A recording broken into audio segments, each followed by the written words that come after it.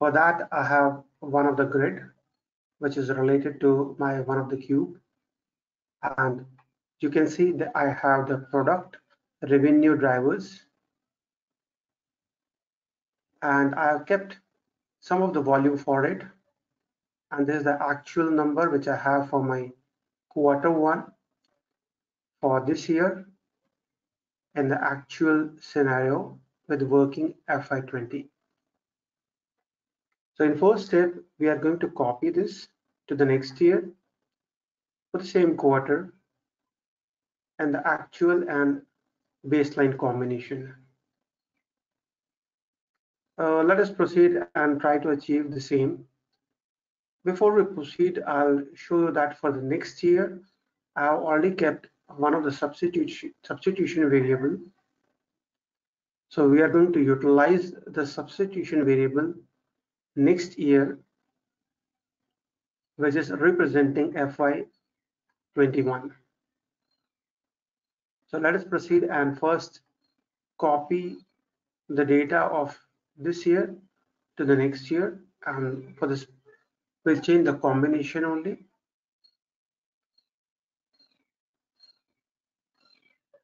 And here we have the calculation manager open let us proceed and start writing down the rule for it.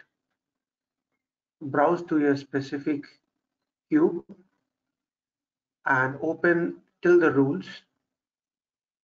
Right click, new rule. This is going to ask the name you want to give to the new rule. So it is as product revenue drivers we are talking about. I'm giving the name PRD revenue driver copying to NXT next year.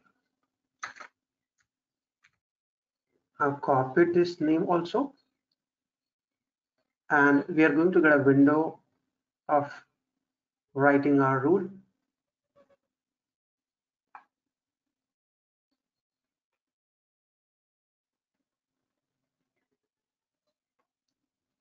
let us start writing the rule for us.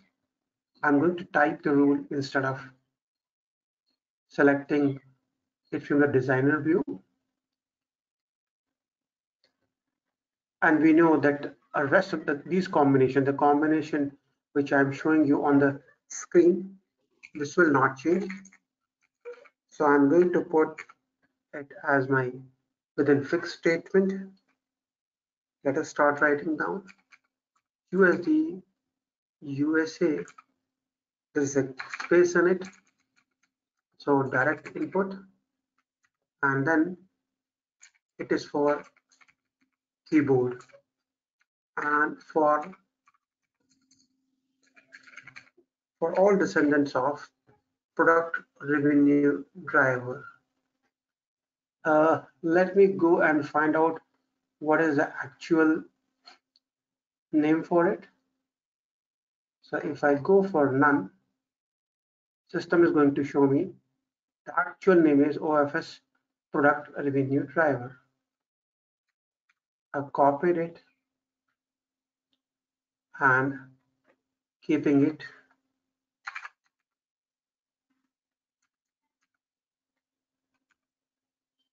USD USA OFS direct input. This also let me copy whatever we have as actual name in the system.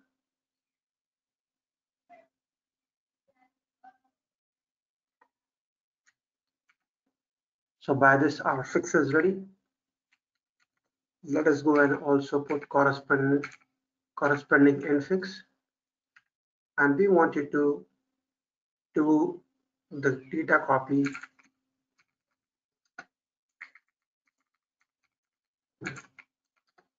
So we will see for what combination we wanted to change this. So we have OEP actual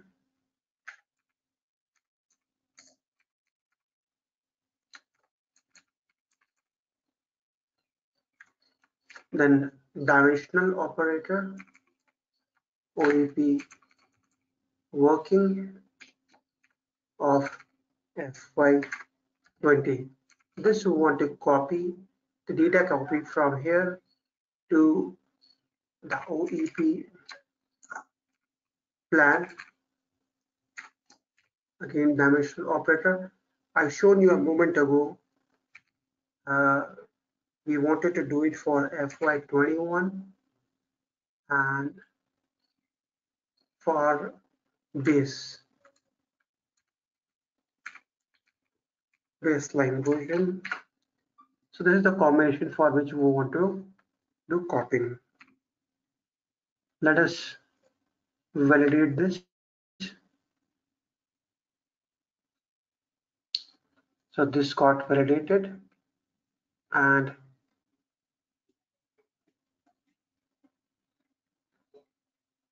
so it got saved and deployed also. Let me play the rule.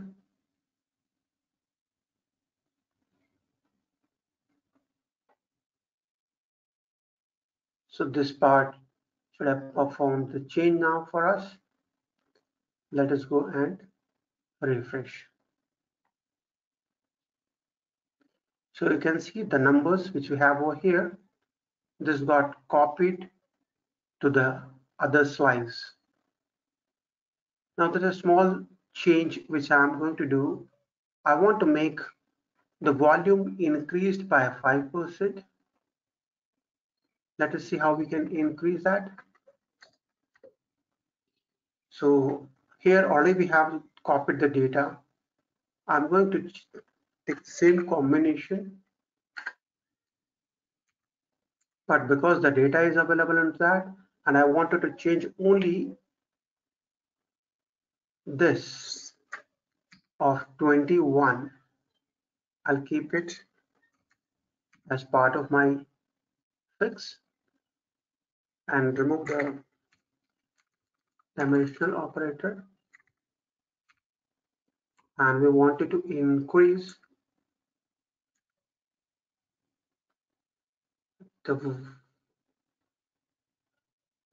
volume part only. So we can just write one simple command OFS volume. The number is the account number is OFS volume. OFS volume is equal to existing OFS volume multiplied by 1.1. Now, because we have already used, I'll Let's comment this part. And we are going to use the second portion of our code. I've already verified it. OFS volume. Okay, because we have the parent at top. So let us get rid of it.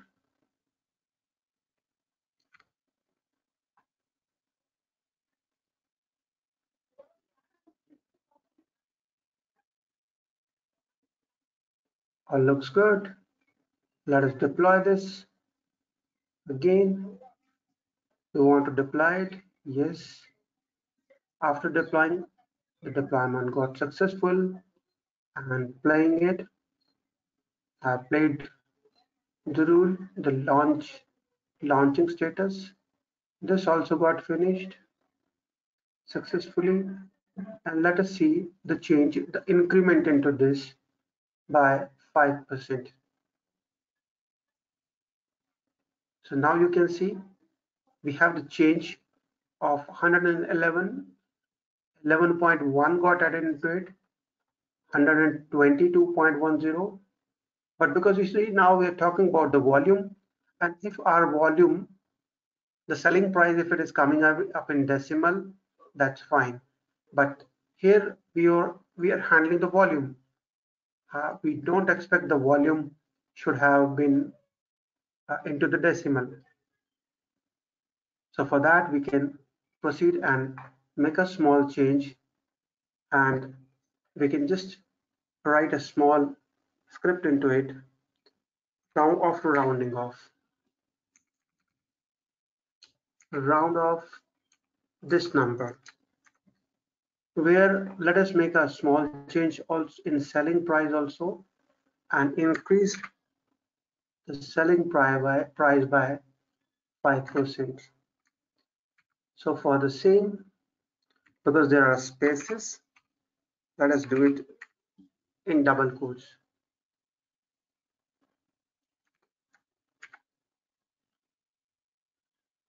Uh, yes, so this multiplied by 1.05.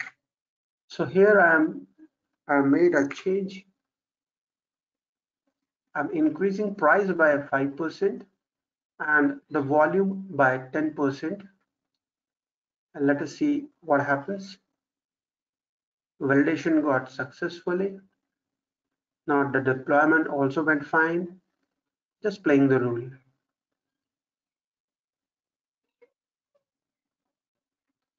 So after playing, we'll see there is a there should have been change. So now the number we should get whole number over here.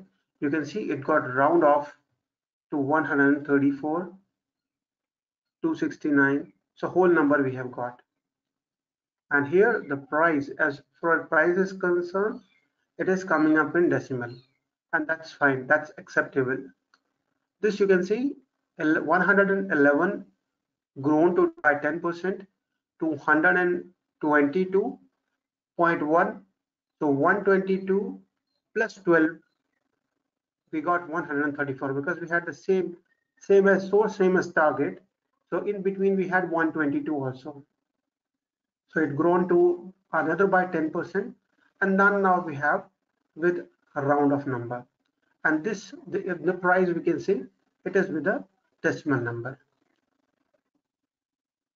That's it for my side for today. Should you have any question, you can back, get back to us at bisptrainings.com. Thank you. Have a good day.